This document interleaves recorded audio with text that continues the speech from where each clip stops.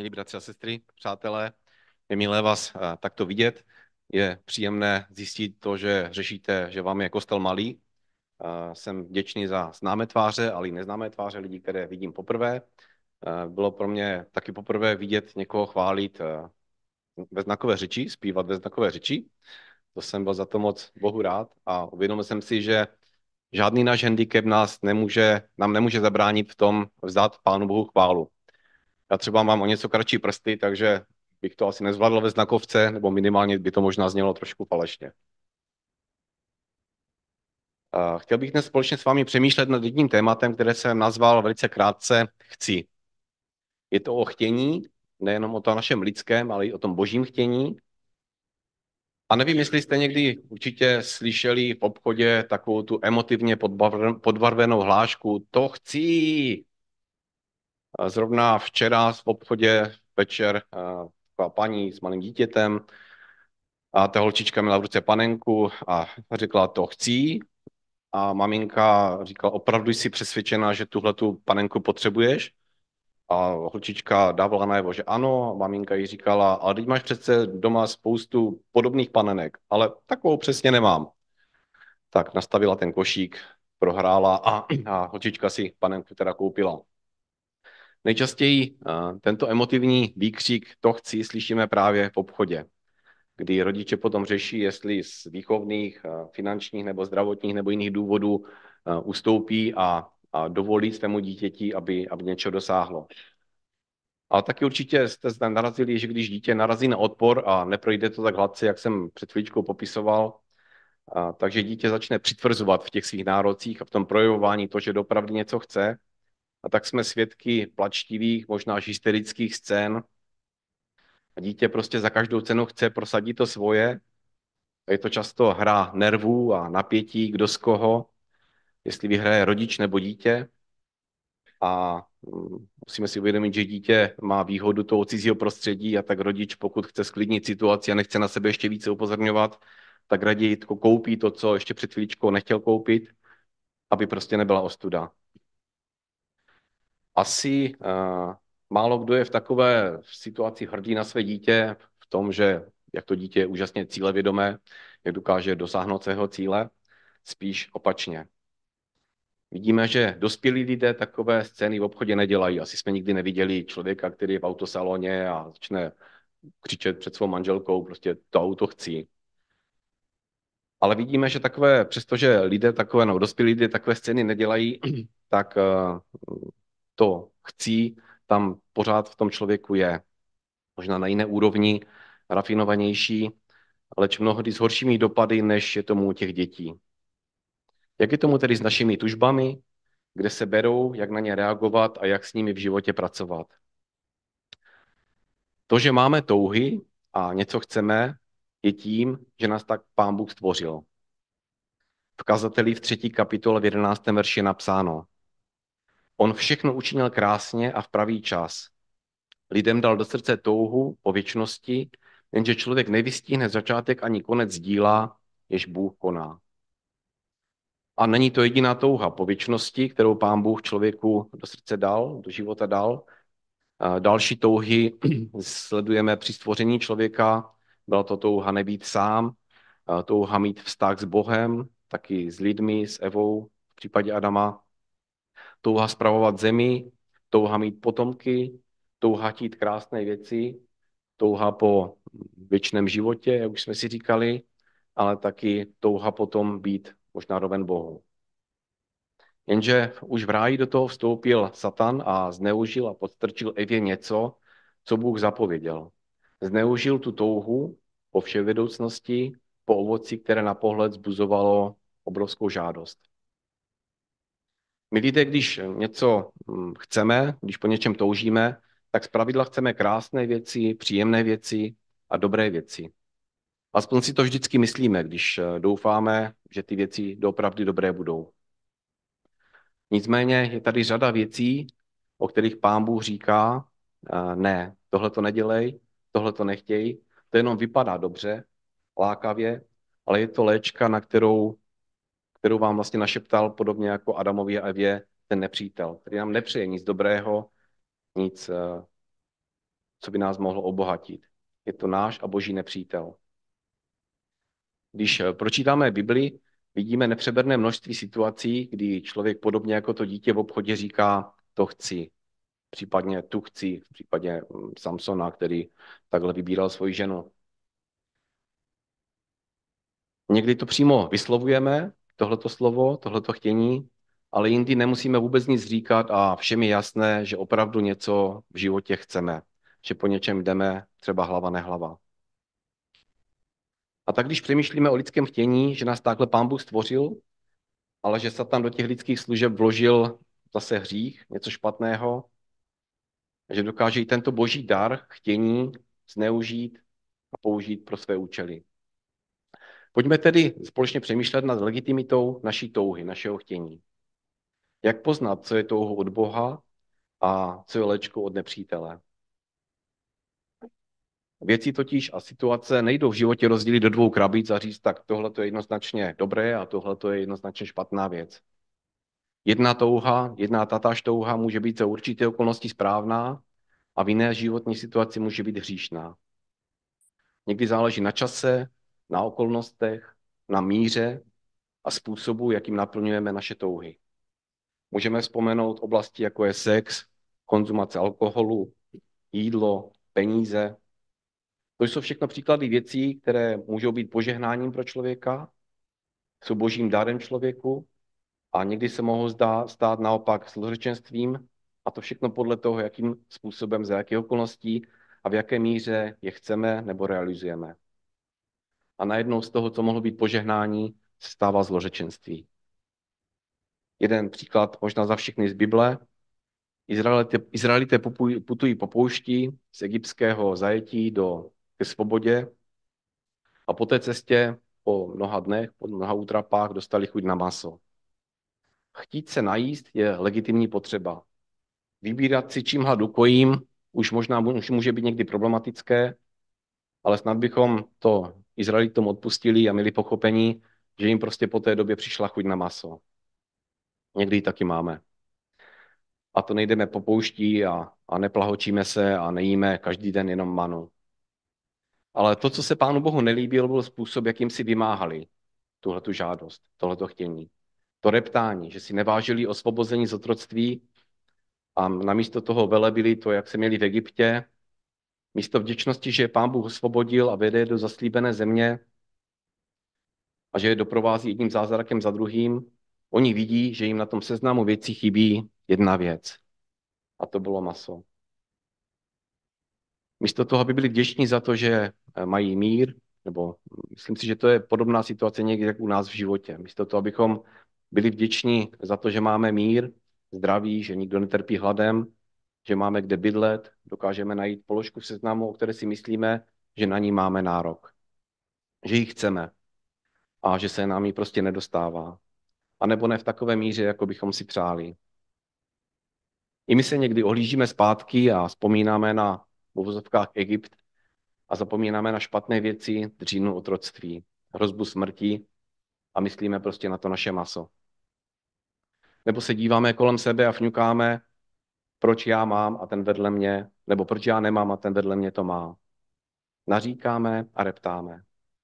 Možná nemáme odvahu reptat přímo vůči Pánu Bohu, ale podobně jako Izraelci si stěžovali Možíšovi, i my si někdy stěžujeme lidem, kteří jsou kolem nás.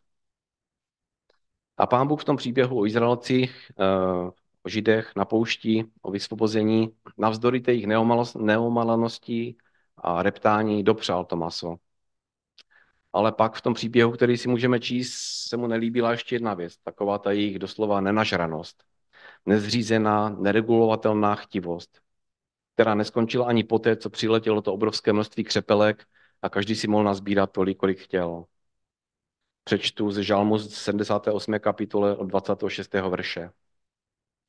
Dal na nebi vanout východnímu větru, jižní vítr přivedl svou mocí a déšť masa na ně spustil tolik jako prachu, pernatého ptactva, jako mořského písku.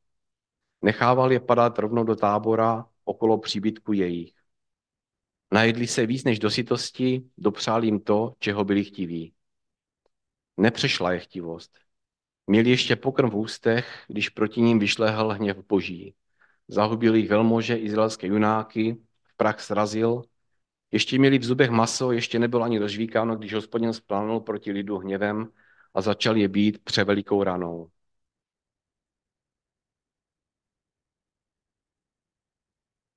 Někdy, to tedy byl příklad toho, že někdy můžeme chtít legitimní věci, ale když nezvolíme takovou tu zdravou, zdravnou, zdravou míru, nebo způsob, jakým, jakým po nich toužíme, jakým se je snažíme dosáhnout, tak se to Pánu Bohu nemusí líbit a nemusí to být dobré. Ale někdy dokonce člověk chce, vyloženě chce prvoplánovitě dělat zlé věci. A to už není jako, že to může být dobrá věc a, a my to nějak špatně poberem, špatně načasujeme nebo nedáme tomu správnou míru, ale vyloženě chce z principu špatnou věc. A poštol Pavel v listě Římanům píše v 7. kapitole od 15. verše. Nepoznávám se ve svých skutcích. Vždyť nedělám to, co chci, nejbrž to, co nenávidím. Vím totiž, že ve mně, to jest v mé lidské přirozenosti, nepřebývá dobro. Chtít dobro to dokážu, ale vykonat už ne. Vždyť nečiním dobro, které chci, nejbrž zlo, které nechci. Objevují tedy takový zákon. Když chci činit dobro, mám v dosahu jen zlo. Ve své nejinternější bytosti s radostí souhlasím s zákonem božím. Když však mám jednat, pozorují, že jiný zákon vede boj proti, mém, proti zákonu, kterému se podřizuje má mysl.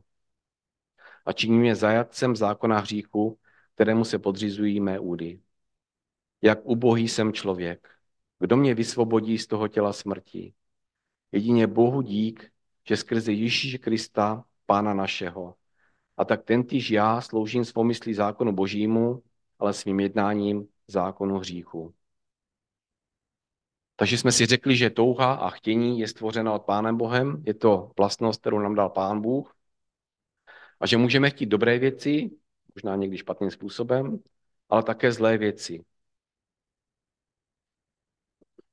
Chtít jíst je naprosto v pořádku, ale zrovna v oblasti jídla můžeme řešit mnoha způsoby.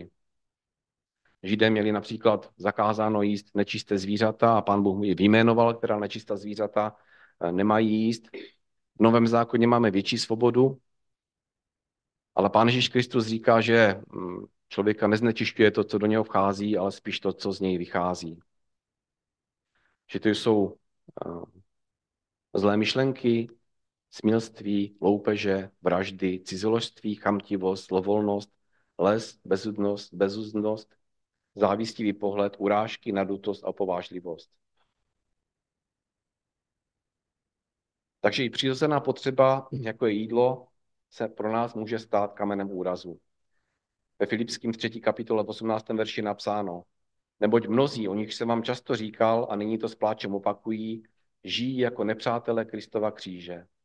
Jejich koncem je zahynutí, jejich bohem je břicho a jejich chloubou je to, na co by se měli stydět, neboť přemýšlejí přízemně. Takže pro mnohé lidi právě jídlo se může stát vlastně takovým bohem v životě. Existuje skupina věcí, kterou můžeme chtít a prakticky se nemůžeme minout cílem nebo se nemůžeme splést. A když ty věci chceme, tak je to v pořádku. To je taková dobrá zpráva. V Žalmu v 61. 5. kapitole je napsáno Chci navěky pobývat v tvém stanu, utéci si do sklíše tvých křídel. Den v tvých nádvořích je lepší než tisíce jinde. Raději chci stát před Prahem domu svého Boha, než prodlevat vstanek své volnosti. Žalm 63. 3. verš. Proto tě vyhlížím ve svatyni, chci spatřit tvoji slávu a moc. Žalm 73. 23. verš.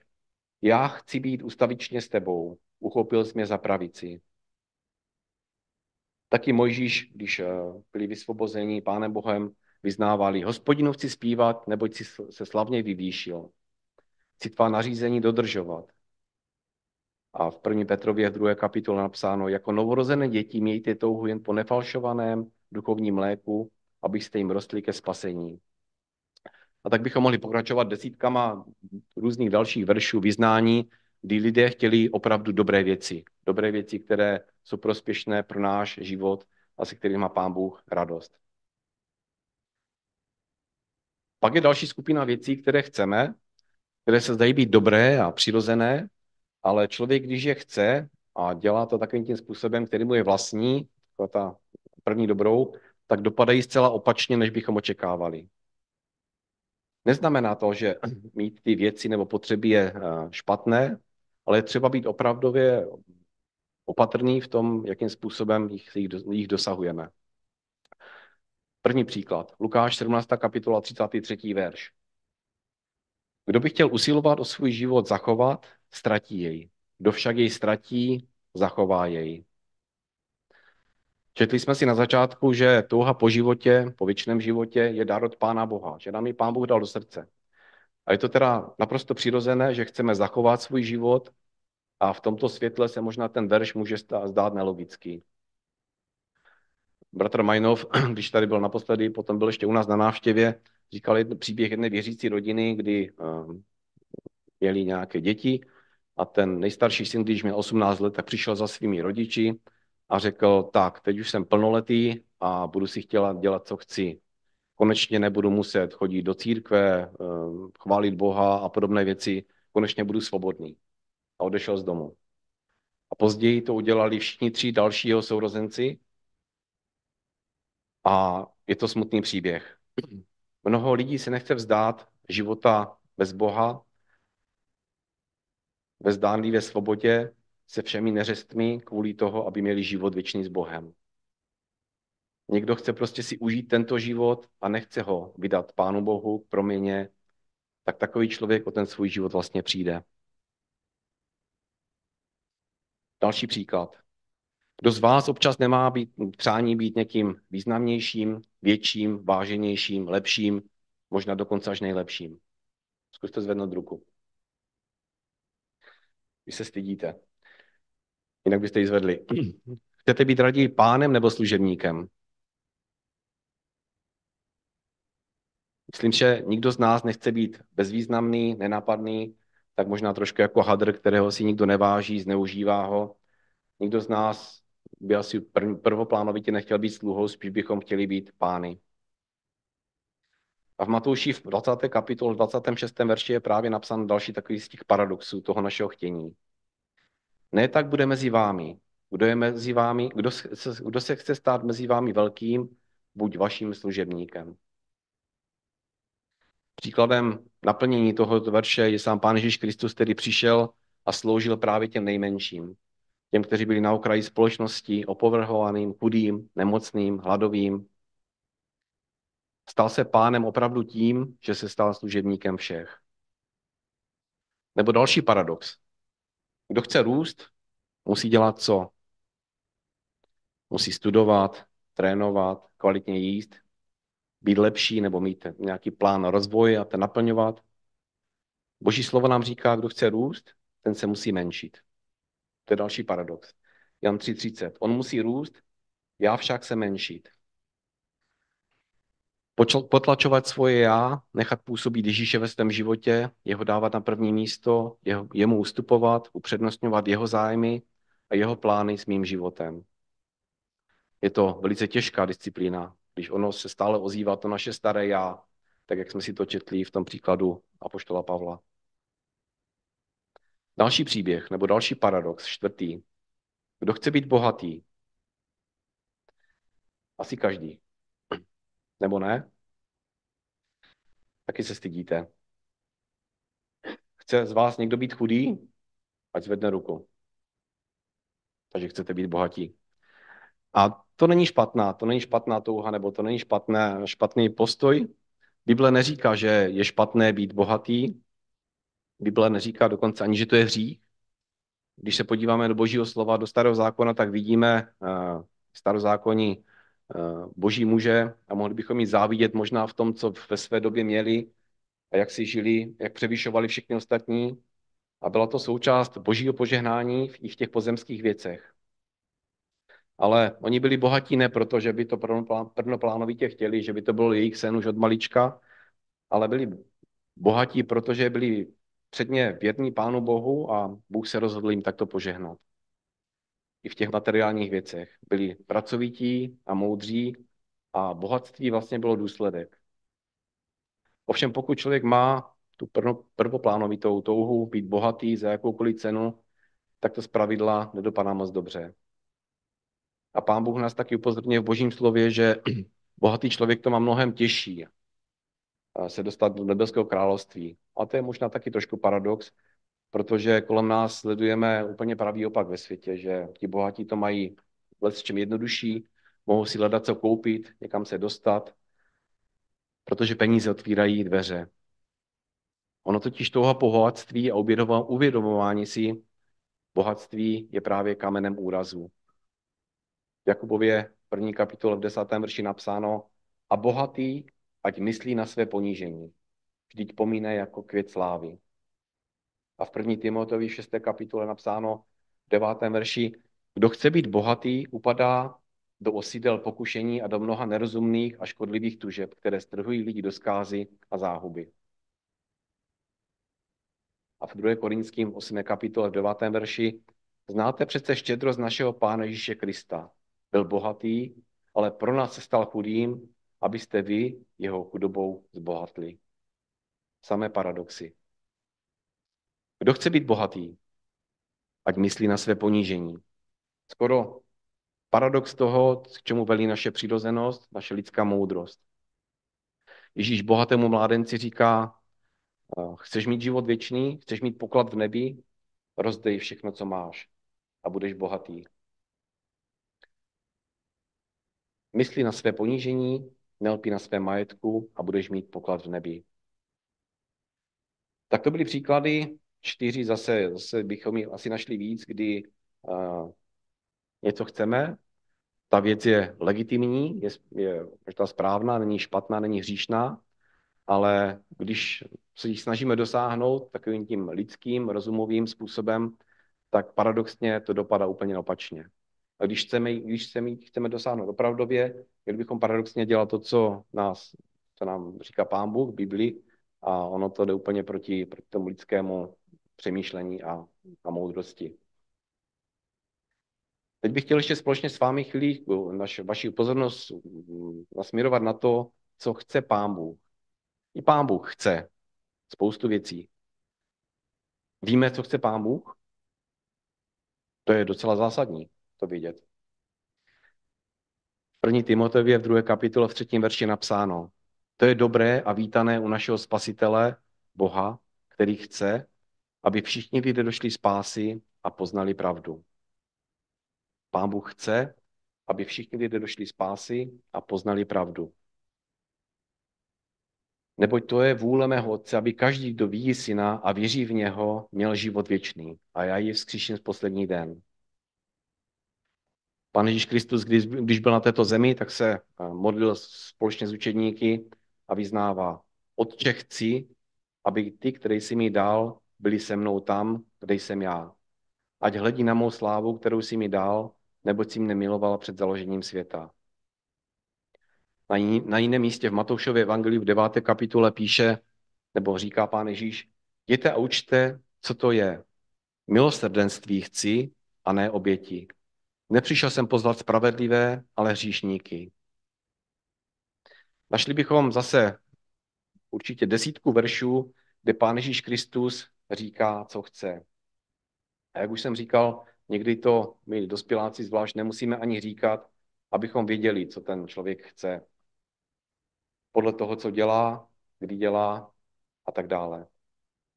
A tak víme, že Pán Bůh miluje člověka a že chce pro něj to nejlepší, že mu chce být na blízko, že mu chce pomáhat, že ho chce chránit, žehnat mu. Dokonce, že chce s námi trávit celou věčnost. A chce, abychom měli plný život a život v hojnosti. Chce nám dát o věcí, o kterých vlastně ani nevíme, že je chceme, protože si je nedokážeme představit.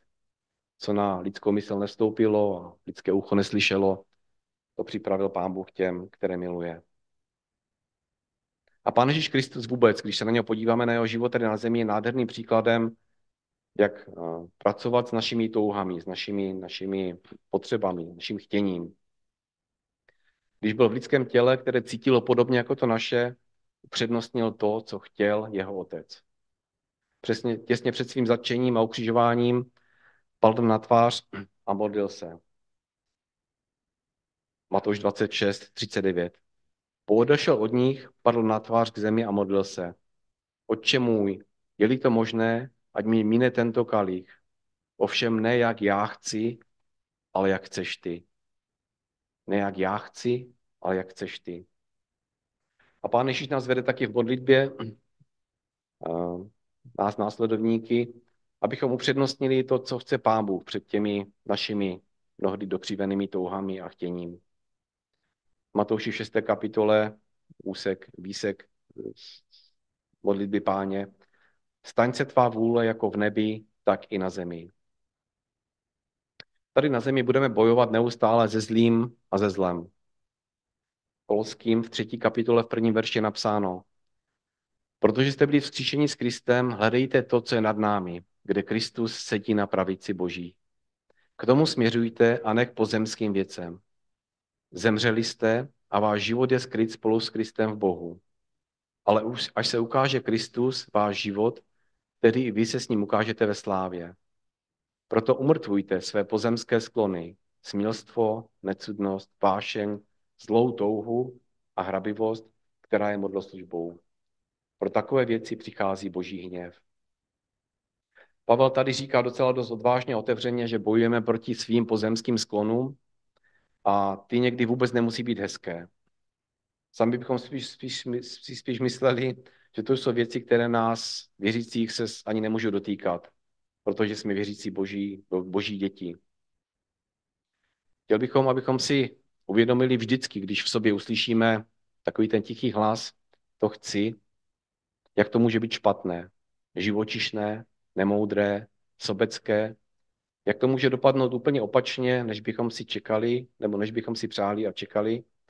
A vůbec to nemusí dopadnout k naší radosti a taky k boží radosti.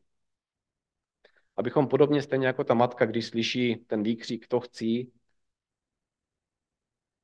přemýšlej nad tím, jestli to je zdravé, potřebné, užitečné, abychom takto uvažovali a vážili každé naše chtění, které se někde uvnitř nás ozve. Jsou takové dvě zlatá pravidla pro usmírnění našeho to chci. V Jakubově 4. kapitole v 13. verši je napsáno. A nyní vy, kteří říkáte, dnes nebo zítra půjdeme do toho a onoho města, zůstaneme tam rok, budeme obchodovat a vydělávat. Vy přece nevíte, co bude zítra. Co je váš život? Jste jako pára, která se na okamžik ukáže a potom zmizí. Raději byste měli říkat, bude-li chtít pán, budeme naživu a uděláme to nebo ono. A druhé zlaté pravidlo, Matouši v 7. kapitole 12. verši, jak byste chtěli, aby s lidé jednali s vámi, tak jednejte vy s nimi. V tom je celý zákon i proroci. Naše touhy, které máme v našem srdci, stvořil Pán Bůh. Není to něco, co bychom měli eh, popírat nebo se snažit popírat, ale Pán Bůh nastavil nějaká pravidla, dal nějaké mantinely a ten pardý anděl, který chtěl být roven Pánu Bohu, zneužil tuto touhu i v člověku a nabídnul mu rovnost s Bohem a poznání dobrá a zla formou zakázaného ovoce v rajské zahradě. A Adam s Evou ti řekli, to chci. Dnes také můžeme chtít dobré a špatné věci. Nebo dobré věci v nedobré míře a podobně. Nesprávný čas. Hodně věcí se zdá být na první pohled dobrých, lákavých na pohled, užitečných ve svých důsledcích, ale v božím světě se setkáváme s takovými paradoxy, že když něco chceme, abychom toho dosáhli, musíme dělat úplně jiné věci, než nám velí náš cit nebo náš rozum. A proto jsme v písmu varování před tím, co všechno je schopno způsobit to naše chtění, naše touhy. Proto chceme být šťastní a úspěšní a bohatí a žít věčně. To všechno jsou legitimní touhy a správné touhy. Ptejme se na to, co chce v našem životě Pán Bůh. A ve vztahu k ostatním lidem můžeme použít tu jednoduchou pomůcku, co chceš, aby dělali lidé kolem tebe, to dělej ty jim. A opačně, co nechceš, aby ti dělali, to nedělej ani ty jim.